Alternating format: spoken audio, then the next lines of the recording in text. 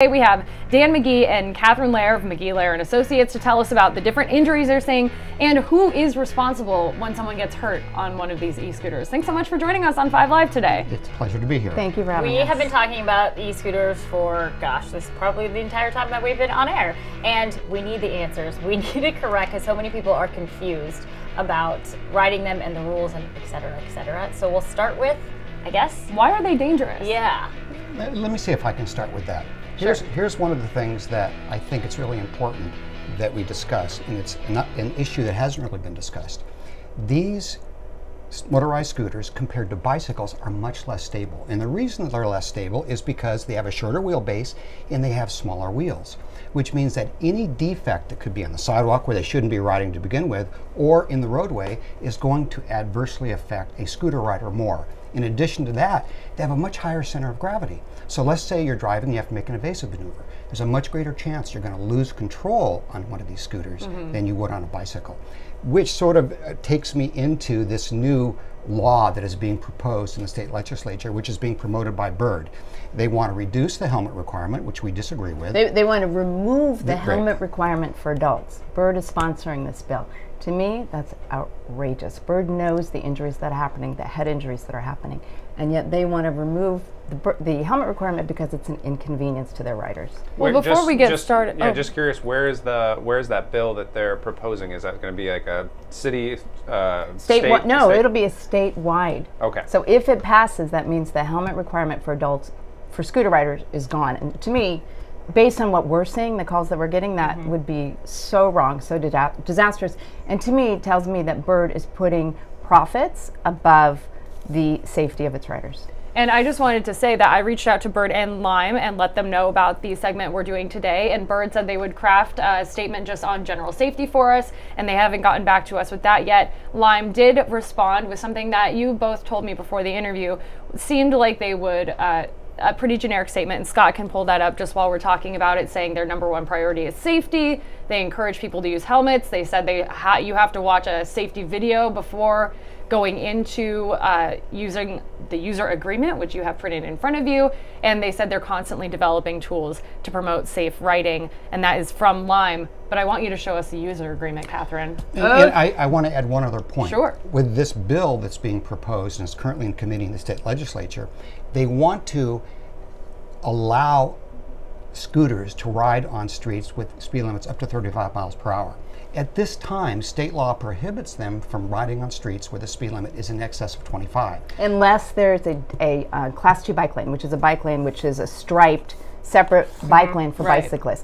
And I just want to say something about that because the public has no idea. For example, in Santa Monica, people are riding scooters on Santa Monica Boulevard, on Wilshire Boulevard, on Pico Boulevard near the college. It's illegal to ride on those roads because those have an ex- a speed limit in excess of 25 and there's no class 2 bike lane. And yet nobody is telling riders. The city's not telling riders, the scooter companies aren't telling riders. And they riders it's too dangerous to put them on the road right next to cars that are traveling at those speeds. So show us the agreement there. Okay, this is Lime's 261 page user agreement that riders are expected to read, right, before they can use the, uh, the scooter and acknowledge at the end that they've read it and understood it.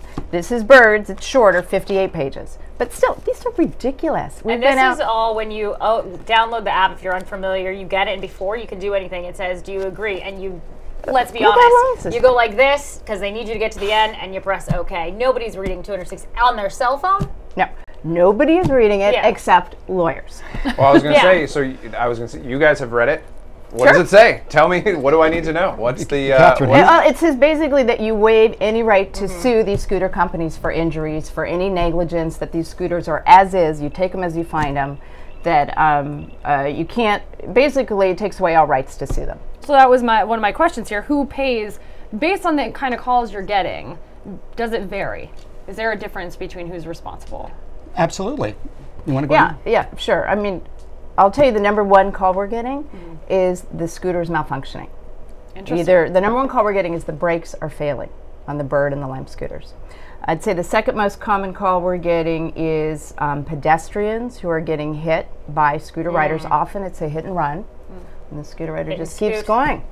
Hit and scoot. and scoot. And we don't know the identity of the rider. Uh, the, another call we're getting are pedestrians who, of course, are tripping over these scooters, which are left abandoned, laying sometimes on the sidewalk.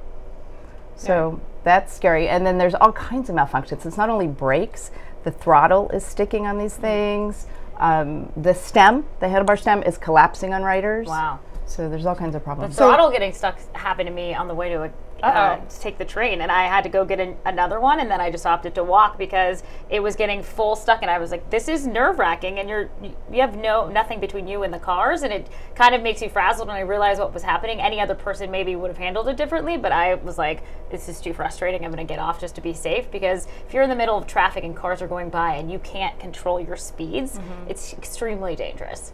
So, what is the California Vehicle Code? Like, what does the law say about y- your responsibility as a scooter rider? Well, the law says that riders have to wear helmets. That riders have to be have a driver's license. Um, that they can't riders cannot ride on the sidewalk.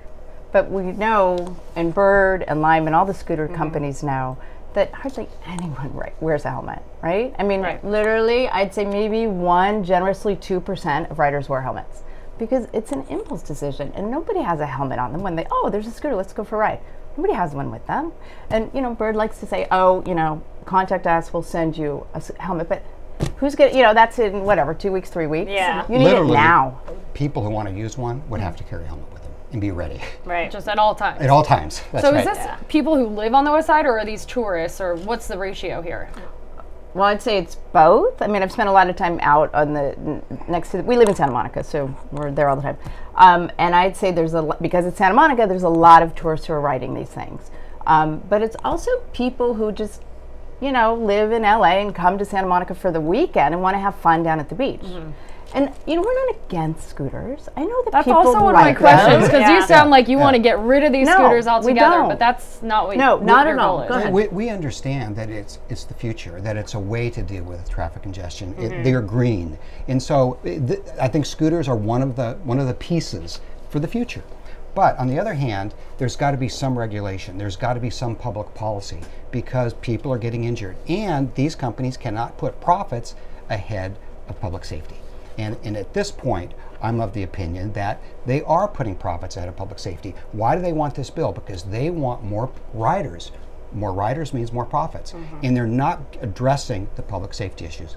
And when you say, uh, and I'm going to say it's Bird who's sponsoring the bill, so I would say to Lime and all the other scooter companies, why don't you come out against that position? Why don't you come out supporting maintaining the requirement that that adults have to wear helmets? So, No, where do you I gonna fall on the argument? Oh yeah, I was gonna. Right? s- well, yeah. Well, I was going to say too. Where do you stand in personal responsibility as far as because people? I mean, you look at whether it's Apple or any other large company that has a product that you use regularly. They have the same type of. I agree. I sign all my rights away. Every type of thing. So where do you fall into, and what's your responsibility when someone calls you and says, I did X, Y, and Z. Well, they did sign the agreement and they did kind of go ahead in this. What's the responsibility there to say, well, there's not a lot we can do for you? Is that something you've found as well? Absolutely. As a matter of fact, when someone comes to us and let's say they have an injury and they're on the sidewalk and they've broken all the rules, there's not a whole lot you can mm-hmm. do for them because they failed to take personal responsibility and wear a helmet and ride the, the, the scooter lawfully. Right, because like it literally, whether it's a bike, your bike in Santa Monica, you're supposed to be wearing a helmet. You're supposed to only be in the bike lane. Like some cities do have these things, and anyone who's ever kind of crossed over where the promenade is, good luck to you as far as somebody on a bike or whatever else. And then also, I mean, driving car, all the rules that people break there. So is that one of the kind of educational things you guys have had to go through with people and say, well, you did it incorrectly? Like, there's Sure. you a lot of times we have to say, you know, yours is a tough case. You weren't wearing a helmet. You were riding it on the sidewalk. Um, your child shouldn't have been writing it. You're, you shouldn't have been writing it tandem with your child. We see this happen all, the, the time. time. So a lot of these cases we've had to turn away, but it's certainly not the writer's fault when this machine malfunctions, and that's the majority of the calls that we're getting. And, and I want to especially address tho- to those parents who are allowing their children to use these e-scooters. You have to be 16, and I think Bird says 18, but you at least have to have a driver's license. And is what parents seem to be doing, they're treating them as toys. They're not transportation. Mm-hmm. They're, mm-hmm. they're basically allowing the kids to ride these scooters unlawfully, and they're getting injured. Yeah, I mean, And I it's the see, it parents' all, I see it all the time. We were just at the promenade, and I see a mother go over and unlock a scooter for her kid. It's like, no, you're not supposed to do that. Do you ever say anything? And, and it's not supposed to be on the promenade. Why are they even on the promenade? like that's another question. That's the first point. Like, why aren't Lime and um, Bird geofencing the Third Street Promenade, the Santa Monica Beach Bike Path, Oceanfront Walk, Palisades Park, so that these devices cannot be placed there, cannot be ridden there? Why are they even there? So the city's right now asking and has asked for bids from companies on which ones should be operating within the city, and the city will officially endorse a certain company over another based on the qualifications. Right now, Bird and Lime did their one day without scooters in Santa Monica. Do you think that worked? And have you done any research into the different companies that have placed a bid for the city of Santa Monica? We, we have not, as a matter Okay. of fact. They- obviously, the, the two big players are, are Lime and Bird, and they appear to Uber and Lyft. No, no, no. Oh, it- right now. Currently. Yeah. And, Right. and in, in the initial analysis, they ended up at the bottom of the list. Right. And so th- that's going to be, a, and I understand tomorrow is when they're going to Yes. make the announcement. So And- we'll and- see tomorrow if Uber and Lyft are getting another transportation boost Yeah. in, in Los Angeles. But what were you going to say, Catherine? Um, I don't think you know writers don't care who gets the contract. Really, it's the, the people who the the uh, mechanics and the chargers for Bird. Yeah. Of course, they care, but they can get a job maybe with one of the other companies. So I don't think people really care, and uh, we don't care either. And I think, as I said, we're not against scooters. I think I can see people genuinely enjoy riding them. We just think they need to be safer. Yeah, I was going to say because they are fun. They Right, are. They are, they are a blast to do. Yeah. And also too is uh, kind of the things that we've talked about on the show is that you know do we start and does a city start to look into creating areas like other cities around the world there are essentially no cars and it's bikes only or pedestrians only or in this case we talk about a zero emission solution in a place like southern california does that start to be something that you think that some of these companies could work with to say, let's do the opposite. Let's try and remove cars from the equation or hmm. pedestrians from the equation in certain areas and allow people kind of this other solution if they wanted it. Well, I would hope that that would be the case, but you know, one of the things that we know is that sometimes corporations have a hard time with you know, their social responsibility, and I think a socially responsible company would do all of the things you just suggested. That they want to also provide the service, earn profits. That's what capitalism is all about. We want them to earn profits, but at the same time, we want them to be cognizant of public safety and teaching riders the rules of the road, the rules of the particular municipality where the scooters may be. That's important. And yeah, right now I've they're not doing actually, as a rider of the most almost every weekend, what as as a user, you know, you're just getting on. You exactly you said you're getting on. You want to have a good time. You're getting to and from wherever the safest, quickest way possible. But I don't know what happens when I fall. I don't know who I call when this when it doesn't Call work. Dan and Catherine. Who do I who do I go to Lyman? Is there a, a, like a malfunction report? Do they have any of those things on the app that's easy for users to be like, this is how we avoid these types of situations? Why don't you address that? Because we haven't had a lot of good luck in addressing, you know, these issues with Bird and Lime. They, they appear to be stonewalling us for the most part. Yeah. Okay. So if the at the end of the ride, Because we'll get cut off in about 30 seconds. At the end of the ride, you can rate your ride, and so users can have the opportunity to, if there's something malfunctioning with the device, they can mm-hmm. tell Uber and Lyft what's wrong with it. Unfortunately, excuse me, Uber and Li- uh, Lime and Bird, but unfortunately, I don't think Bird is addressing those issues or communicating the mm. problems to the mechanics who fix those devices. So mechanics don't even know what's wrong with them when they go out to fix them. Brakes don't work, the mechanic is injured. Ah. Thank you so much for talking about the responsibilities of riding e-scooters. Dan McGee and Catherine Lerer on KTLA 5 Live.